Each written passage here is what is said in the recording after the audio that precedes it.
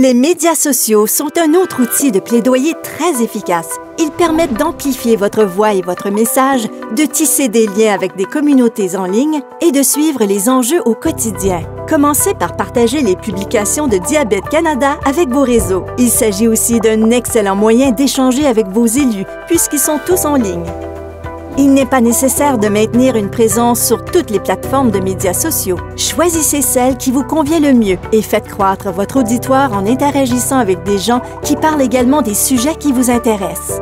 Publiez régulièrement, mais restez vous-même et partagez le contenu qui vous ressemble et qui amplifie votre message de plaidoyer.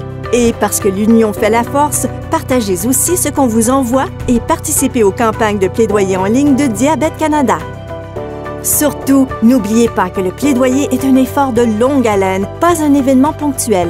Chaque fois que vous vous exprimez sur un enjeu, que ce soit en personne, par courriel ou téléphone, dans les médias sociaux ou lors d'événements communautaires, vous sensibilisez les gens, vous ralliez du soutien et vous favorisez le changement.